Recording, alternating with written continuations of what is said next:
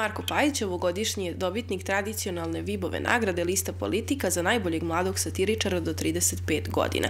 On je inače i profesor poljoprivredne škole u Valjevu, a u nastavku ćemo imati priliku da od njega čujemo koliko mu ova nagrada znači, koliko dugo se bavi satirom i koja su još njegova interesovanja. To su samo neka od pitanja za njega. Verujem da će ovaj razgovor biti veoma zanimljiv. Dobro jutro pre svega i dobrodošao. Dobro jutro vama i vašim gledalcima. Hvala što ste me pozvali.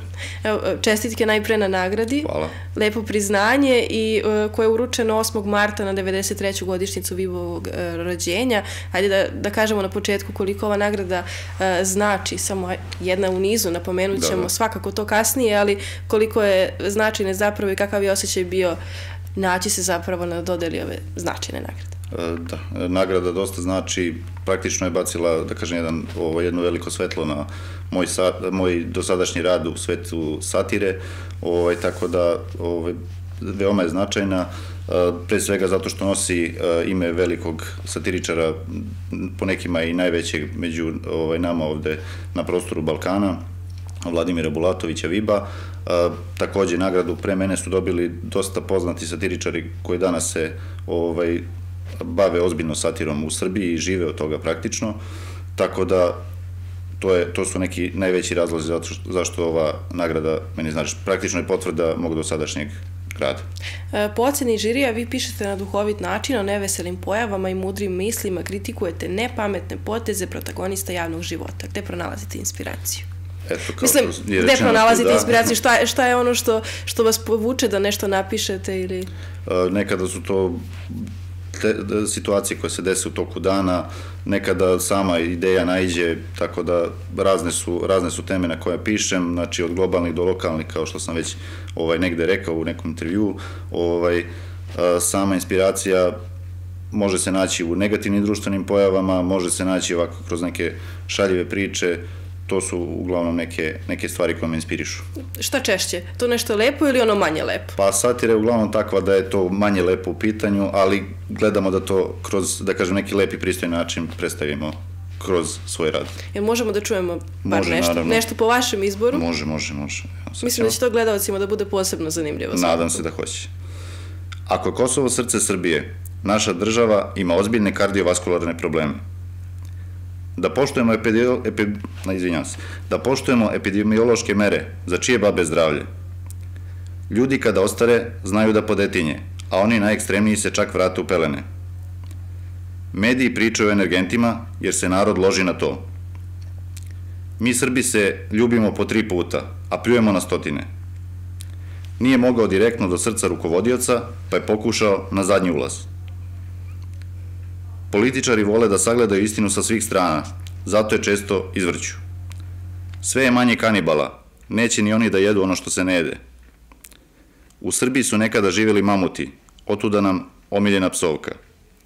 Učenici na telefonima, nastavnici na aparatima, za kraj jedan prosvetarski. Da, e, upravo iz sveta, eto, iz da. vašeg sveta, onog da, da, drugog, da tako kažem. E sad, sve ovo što ste pročitali može se shvatiti i ovako i onako. Kako da. shvataju uh, ljudi sa kojima ste u kontaktu, odnosno kako ljudi reaguju na to što vi pišete? E, razne su reakcije, bilo je nekada i nekih negativnih reakcija, gledao sam da odgovaram u granicama pristojnosti, naravno i pomalo na šaljiv način, kako to sama i satira ovaj, nalaže, da kažem politički korektno, uh, Ovaj, tako da bilo je naravno i pozitivnih kritika, svaka kritika je, da kažem, korisna, pomaže nam da nekada i poboljšamo ovaj, svoj rad, tako da e, u principu to su neke kritike koje se javljaju i nadam se da će svaka od njih pomoći i dalje usavršiti ovo što ja radim. Da, znamo kako je to bilo nekada ranije i kako se gledalo upravo na, i kako se komentarisalo sve to i, i kako su ljudi koji to pišu prolazili. Da. E, jel se menja nešto? Kako, kako izlazite na, na, kraj, na kraj s tim? Odnosno, je li teško izboriti se i nastaviti da radite to, to što radite? Pa, ovo kažem, eto, sama nagrada je meni dosta, da kažem, velika potvrda da je to što pišem, da to valja i samim tim ovaj, lakše mi je samim tim da se izborim sa svima. Nemam nekih velikih, da kažem, problema samim tim. Gledam sve da, da bude, kažem, još jednom politički korektno, tako da eto, u principu, zadovoljan sam kako izlazim na kraj sa tim. Koliko dugo ste u svetu satire, odnosno koliko dugo se bavite aforizmima? Kad Satira, počinje cela ta priča? Da, da, cela priča počinje pa možda nekih pre 5-6 godina. Ovaj, ranije sam zapisivao neke svoje misli koje nisu baš mogle da budu satira, ali da kažem vremenom se to preraslo, u to pojavile su se takve misli. Otkrio sam, da kažem, taj svet aforizama, svidao mi se, video sam da imam delimično smisla za to, nisam bio 100% siguran, zato sam počeo da učestvujem na konkursima.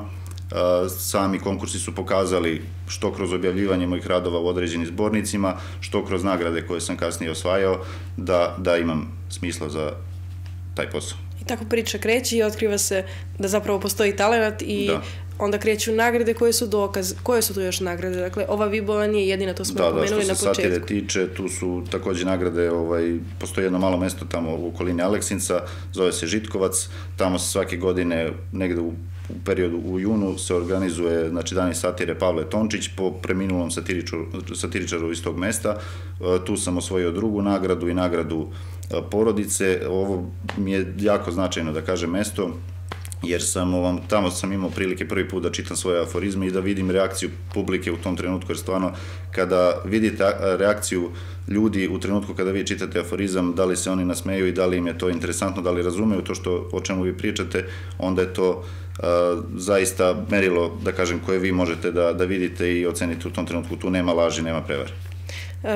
Svakako, jel postoje još neke nagrade koje biste pomenuli ili je to nešto što je bilo najznačajnije u smislu da je, da je ostalo vama u sećanju i da ćete to je, to je dugo pamtiti kroz... To je što se tiče, ovaj, bile, bile su i neke pohvale u ovaj, Banatskom žitištu, Tako da eto to su što se satire tiče, a što se poezije tiče imam ovaj određene nagrade takođe koje sam osvajao. E, konkretno u Lazarevcu sam 2011. osvojio za poeziju, osvojio sam drugu nagradu u kategoriji odraslih, u 2022. je prva nagrada, tako da eto tu su isto neke, neke stvari kojima se bavim, ne samo satira, znači tu je takođe i poezija, pišem i satiričnu i ljubavnu i misalnu poeziju, znači na razne teme pišem. E, niste iz Valjeva i to je zanimljivo da, da navedemo. Ja sam rekla da radite u poljoprivrednoj školi, a u stvari ste rođeni u Kraljevu. I sad hajde da, da. kažemo kako vas je život doveo zapravo do Valjeva i zbog čega evo već skoro 10 godina živite u gradu na Kolubari. Da. Uh, sam uh, dolazak moj u Valjevo ovaj, bio je takav da je to došao sam sticajem okolnosti zbog posla. Uh, zadržala me žena tu da kažem i sada i dete, hvala Bogu.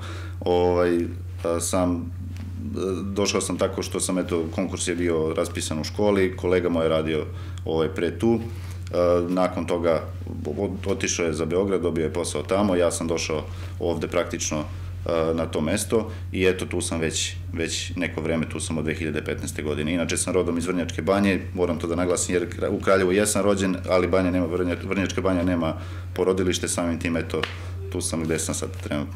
Da, jeste zadovoljni ovde, odnosno, ajde, čim, čim toliko godina živite tu, znači da je pa dobro, da. ne, ne, nije loše sigurno, vjerojatno biste menjali da, da nije dobro, ali uh, šta je ono što vas posebno privlači kad pričamo o Valju? A, posebno što se Valjeva tiče, priroda je da kažem neka najlepša stvar koja mi se sviđa ovde i samo bogatstvo prirode je ovaj, ono veliko, gledam konkretno reka Gradac, znači koja je tu na, na pet minuta maltene od grada, Valjevskih planine koje su nešto dalje, ali opet nisu ni toliko daleko. Znači sve to je, da kažem, neka najveća lepota Valjeva. Po meni, naravno i žene su tu takođe. Ovaj, eto, to su neke stvari koje, koje volim kod Valja. I uh, lepotu prirode upoznajete i kroz planinarsko društvo Magleš, da. E, njegov ste član na neki yes. način možda je i Magleš bio veza između vas i Valjevac da na neki način bolje upoznate i ljude ovde, a i samu prirodu, Jeste, odnosno da, okolinu. Da, da, kad sam došao u Valjevo praktično nisam poznavao nikoga, ovaj, kroz posao sam ajde upoznao neke mlađi kolege i tako dalje, ali eto, e, malo sam više proširio dijapazon poznanstava i samih ljudi, kroz to planinarenje, ovaj, tamo sam inače upoznao i svoju suprugu, tako da eto, poziv da kažem za, za ljude da se učlane u planinarsko društvo Maglaš ako mogu da iskoristim ovo vreme za to.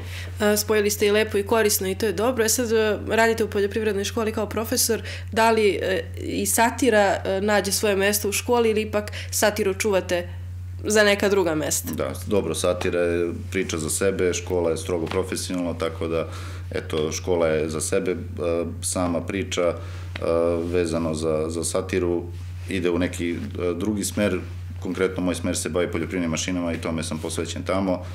Satira je više neka slobodna aktivnost. Ali profesori, odnosno kolege i đaci znaju čime se bavite i vjerojatno su ponosti na to, da, na neki, sve vaše uspehe. Neki od njih znaju, sada većina njih zna zato što je zbog ove nagrade koju sam osvojio, nagrade ovaj, dosta, da kažem, bacila na svetlo, još jednom kažem, na to što radim.